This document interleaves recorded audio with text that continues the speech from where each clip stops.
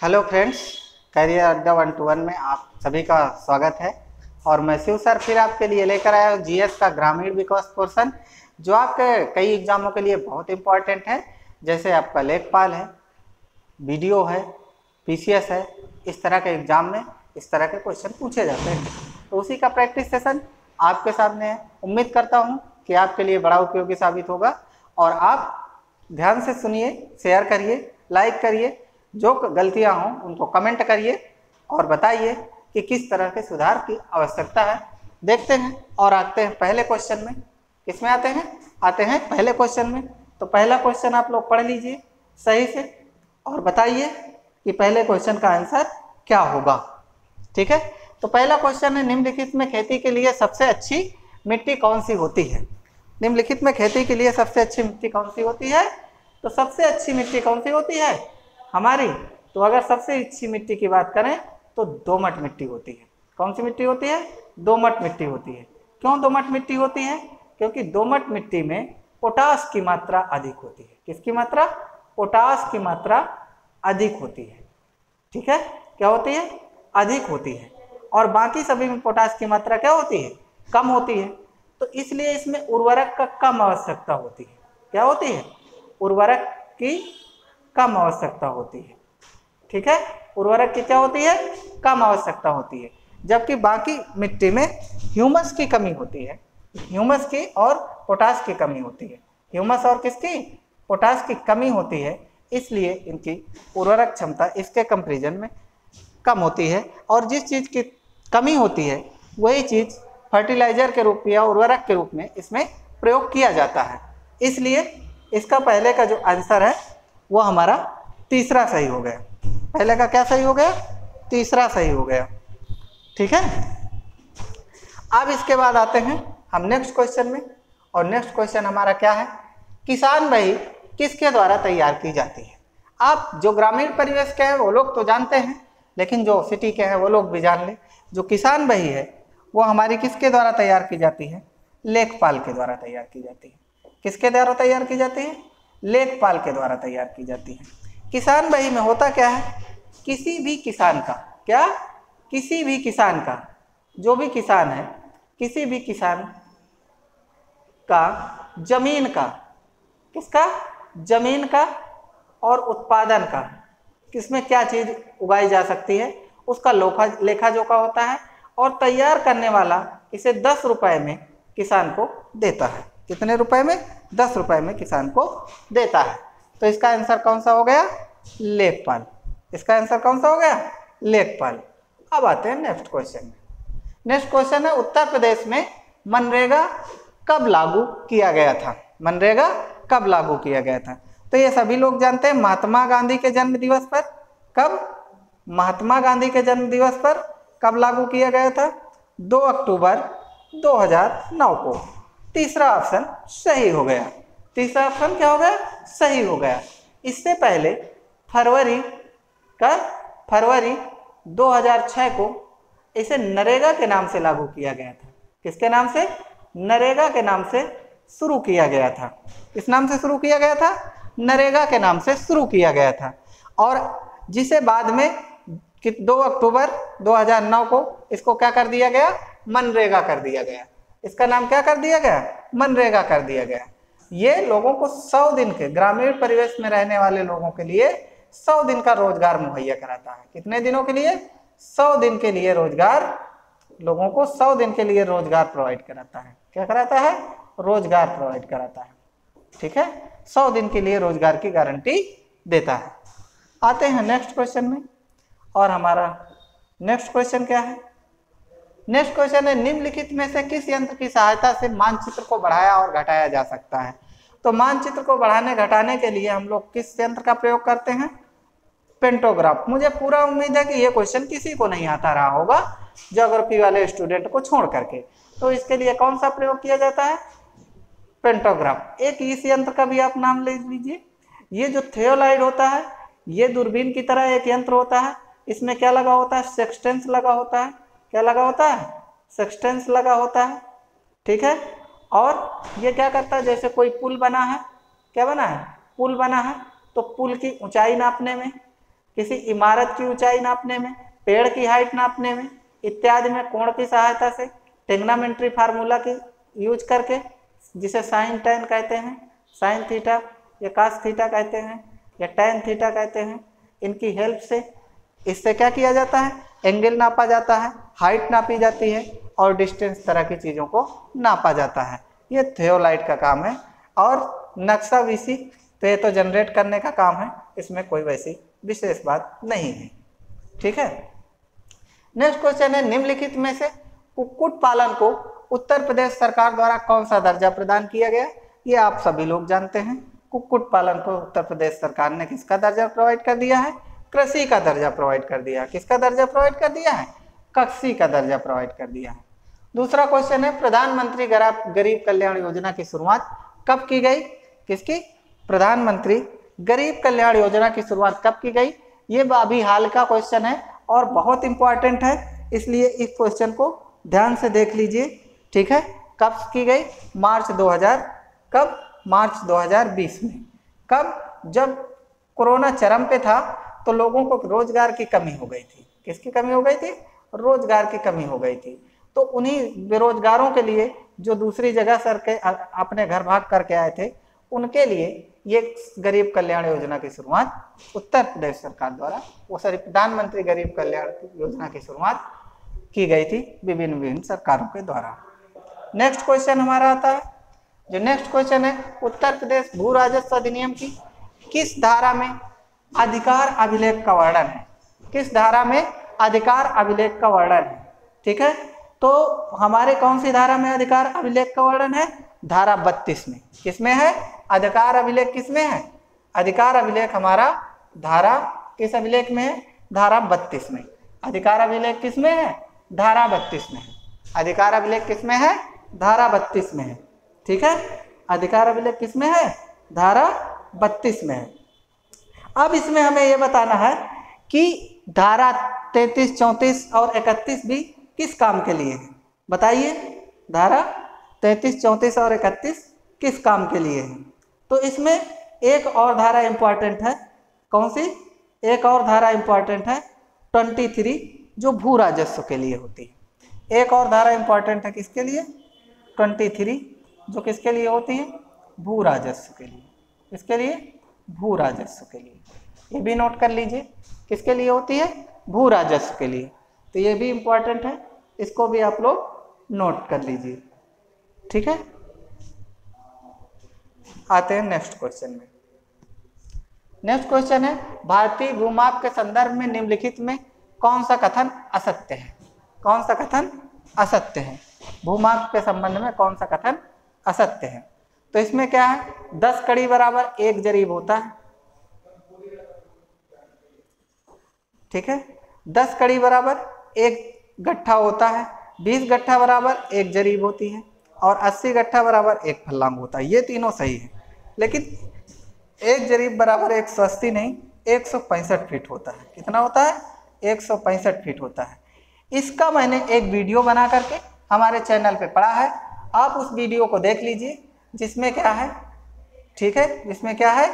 कि आपको इसकी सारी इकाइयाँ एक जगह पे अच्छे से समझाई गई। कितने में बीघा होता है, कितना हेक्टेयर होता है, कितना यूनिट होता है, कितना फलांग होता है, क्या गट्ठा होता है, क्या होगा, इसका पूरा डिस्कशन हमारे चैनल पे पहले से उपलब्ध है। आप उस वीडियो को ज़रूर देखें और वो आपको बहुत उपयोगी साबित होगा। इसलिए आप उसे देखिए भी और फ़ायदा उठाइए।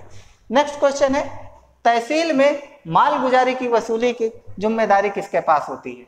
तो तहसील में जो माल गुजारी का लेखा जोखा होता है, वो तो किसके पास होता है? तहसीलदार के पास। किसके पास होता है? तहसीलदार के पास। और तहसीलदार किसके थ्रू? अमीन के थ्रू। किसके थ्रू? अमीन के थ्रू जो गाँव गाँव जा करके क्या करता है? माल गुजारी वसूल करता है। क्या करता है? गाँव गाँव जा करके माल गुजारी वसूल करता है। ठीक है? तो इसका आंसर कौन सा हो गया? पहला। इसका आंसर कौन सा हो गया? पहला। नेक्स्ट क्वेश्चन पे आते हैं। उत्तर प्रदेश का सीमावर्ती देश कौन सा है? ठीक है? तो उत्तर प्रदेश का सीमावर्ती देश कौन सा है? नेपाल। उत्तर प्रदेश का सीमावर्ती देश कौन सा है? नेपाल। नेपाल के अलावा जो उत्तर प्रदेश है, नेपाल के अलावा जो क्या है? उत्तर प्रदेश है, वो क्या है? नेपाल के अलावा जो उत्तर प्रदेश है, वो आठ राज्यों से घिरा है। कितने? आठ राज्यों से घिरा है, ठीक है? आठ राज्यों से घिरा है। उन राज्यों के नाम भी देख लीजिए। एक केंद्र शासित प्रदेश भी है। कौन सा? दिल्ली। और इधर क्या है आपका? नेपाल। इधर क्या है? नेपाल। यहाँ क्या है? सिक्किम। इधर क्या है? उत्तराखंड। इधर क्या है? उत्तराखंड। इधर क्या है? एमपी। इधर क्या है? राजस्थान। इधर क्या है? हरियाणा। ठीक है? इसी तरह सारे राज्य इससे जुड़े हुए हैं। इसी तरह सारे राज्य क्या हैं? इससे जुड़े हुए हैं। नेक्स्ट क्वेश्चन है हमारा, उत्तर प्रदेश राज्य की पूर्व से पश्चिम तक की लंबाई कितनी है? तो पूर्व से पश्चिम तक की लंबाई आप सभी लोग जानते हैं, कितनी है? 650 किलोमीटर। कितनी है? 650 किलोमीटर। तो उत्तर से दक्षिण कितनी है? 240 किलोमीटर। कितनी है? 240 किलोमीटर। नॉर्थ से साउथ। ईस्ट से वेस्ट। ठीक है? इसका कौन सा आंसर सही हो गया? तीसरा। कौन सा सही हो गया? तीसरा। अब आते हैं नेक्स्ट क्वेश्चन में। अब आते हैं किसमें? नेक्स्ट क्वेश्चन में। और नेक्स्ट क्वेश्चन हमारा कौन सा है? नेक्स्ट क्वेश्चन है, उत्तर प्रदेश में खादी तथा ग्राम उद्योग बोर्ड के गठन किस अधिनियम के अंतर्गत किया गया था? किस अधिनियम के अंतर्गत किया गया था? आपको यह बताना है। तो उत्तर प्रदेश खादी एवं ग्राम उद्योग अधिनियम उन्नीस सौ कब में बना था? उन्नीस सौ कब में बना था? छाछठ में। इस अधिनियम के थ्रू क्या किया गया था? इसकी स्थापना की गई थी। तो कौन सा ऑप्शन सही हो गया? दो सही हो गया। ऑप्शन कौन सा सही हो गया? दो सही हो गया। ठीक है? तो ये भी आपका क्वेश्चन हो गया। और क्या है? ग्राम एवं खादी उद्योग अधिनियम 1960 के अंतर्गत। किसके अंतर्गत? 1960 के अंतर्गत। इसकी स्थापना की गई थी। इसकी स्थापना क्या की? की गई थी। आते हैं नेक्स्ट क्वेश्चन निम्नलिखित में पालक में पाया जाने वाला प्रभावी कार्बनिक अम्ल कौन सा है? प्रभावी कार्बनिक अम्ल कौन सा है? तो वो है हमारा कौन सा? आग आगजैलिक अम्ल। कौन सा है? आग आगजैलिक अम्ल। ये तो ऑप्शन कौन सा सही हो गया? तीसरा। और ये क्या है कि जो हमारी पालक होती है, जो हमारी क्या होती है? पालक होती है। तो जो पालक होती है, इसी को डॉक्टर क्यों खाने के मना करता है? डॉक्टर क्यों खाने के लिए मना करता है? क्योंकि इससे क्या? पथरी, यानी कि स्टोन की बीमारी हो जाती है। किसकी बीमारी हो जाती है? स्टोन की बीमारी हो जाती है।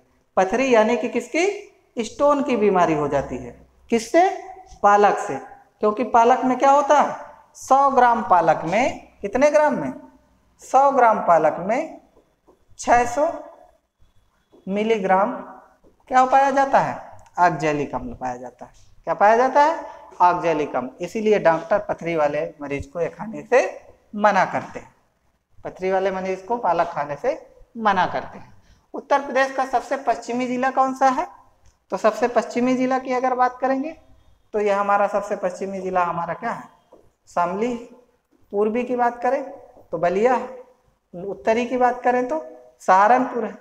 और दक्षिणी की बात करें तो सोनभद्र। दक्षिणी की बात करें तो Sonbhadra. West, east, north, south. West, east, north, south. कौन सा पूछा है? पश्चिमी। तो कौन सा ऑप्शन सही हो गया? पहला। कौन सा उत्तर सही हो गया? पहला विकल्प आपका सही हो गया। पहला विकल्प आपका क्या हो गया? सही हो गया। आते हैं हम नेक्स्ट क्वेश्चन में। और नेक्स्ट क्वेश्चन हमारा क्या है? पूसा मेघाली किसकी उन्नत किस्म है? पूसा मेघाली किसकी उन्नत किस्म है? तो ये क्वेश्चन केवल रटने वाला है और इसमें कुछ बताने की ज़रूरत नहीं। पूसा मेघाली किसकी किस्म है? ये रट लीजिए। पूसा मेघाली गाजर की किस्म है। कौन सी गाजर की? जो आपकी बैगनी या लाल बैगनी कलर की गाजर होती है। कौन सी कलर की? बैगनी कलर की बड़ी अच्छी अच्छी जो गाजर होती है, उसे क्या कहते हैं? पूसा मेघाली कहते हैं। उसे क्या कहते हैं? पूसा मेघाली कहते हैं। तो कौन सा ऑप्शन सही हो गया? चौथा ऑप्शन सही हो गया। आते हैं नेक्स्ट क्वेश्चन में। नेक्स्ट क्वेश्चन आपका है निम्नलिखित में से कौन सा राजस्व परिषद के अनुभाग पाँच से संबंधित नहीं है? कौन सा राजस्व परिषद के अनुभाग पाँच से संबंधित नहीं है? ठीक है? अनुभाग पाँच से संबंधित नहीं है। तो अनुभाग पाँच से कौन नहीं संबंधित है? बताइए। अनुभाग पाँच से कौन नहीं संबंधित है? जमींदारी उन्मूलन।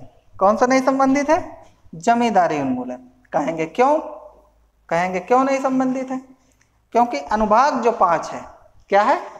अनुभाग जो पाँच है तो अनुभाग पाँच में सबसे पहले हमें जानना होता है कि अनुभाग पाँच में है क्या ठीक है? तो इसमें क्या है? नए मंडलों क्या है? नए मंडलों क्या है?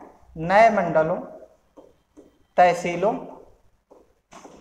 तहसीलों, जिलों आदि के परिवर्तन के संबंध में उल्लेख किया गया है।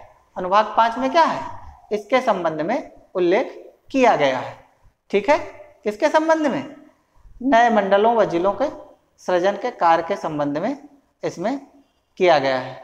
ठीक है? और जिलों व तहसीलों का नाम परिवर्तन का कार्य इसी में किया गया है। ठीक है? तो ये हमारा कौन सा ऑप्शन इसका गलत है? जमींदारी उन्मूलन। कौन सा गलत है? जमींदारी उन्मूलन गलत है। तो फिर जमींदारी उन्मूलन है किसमें? तो जमींदारी उन्मूलन किसमें है?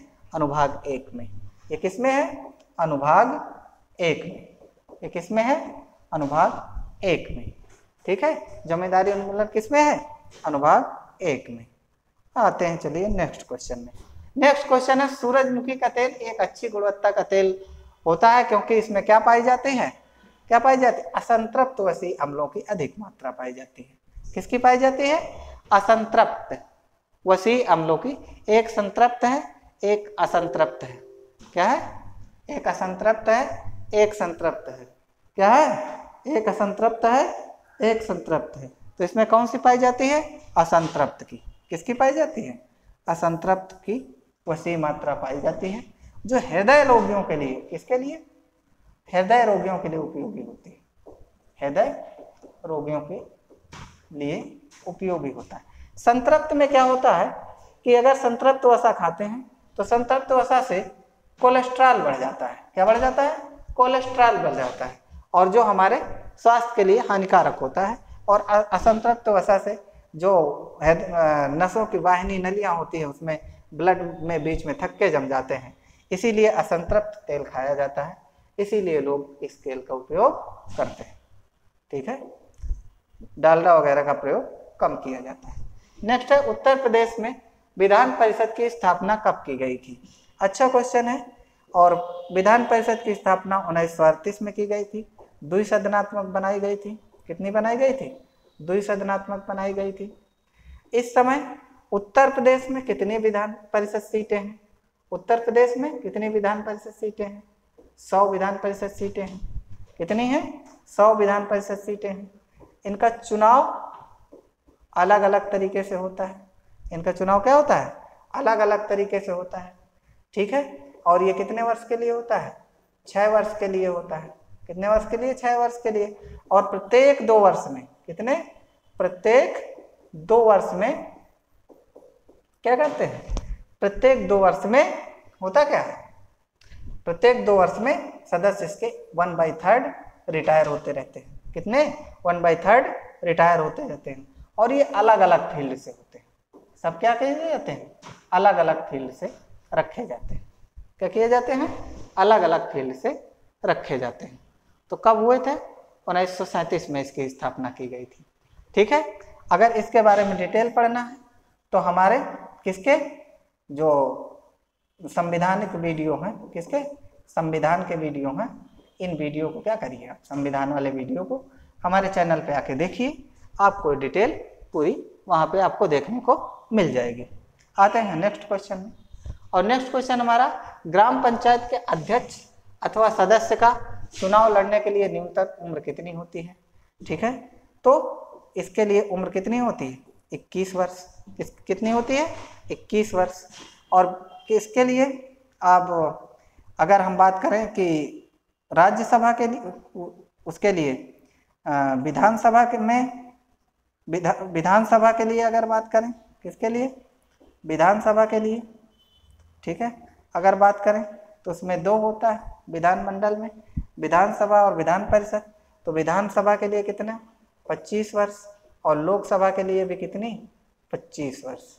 लोकसभा के लिए भी कितनी? पच्चीस वर्ष। और जबकि विधान परिषद, किसके लिए? विधान परिषद और राज्यसभा। विधान परिषद और राज्यसभा के सदस्यों की जो उम्र होती है, वो कितनी होती है? थर्टी कितनी होती है? थर्टी होती है। कितनी होती है? थर्टी होती है। तो इसके चुनाव लड़ने की उम्र कौन सा ऑप्शन सही हो गया? पहला। कौन सा ऑप्शन सही हो गया? पहला।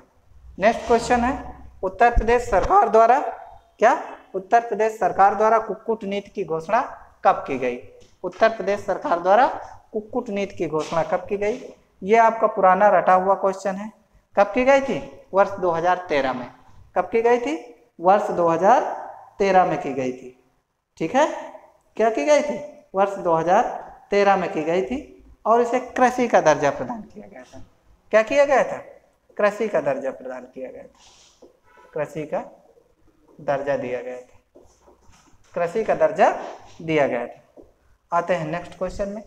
ग्राम सभाओं के हाट बाज़ार मेला तालाबों में होने वाले आय व्यय संबंधी कार्य किस अनुभाग के अधीन होते हैं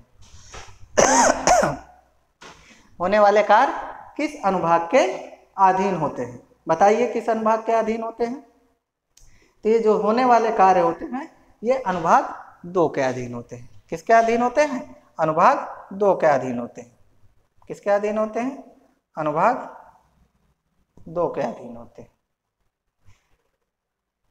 किसके अधीन होते हैं अनुभाग दो के अधीन होते हैं अनुभाग आठ में क्या होता है?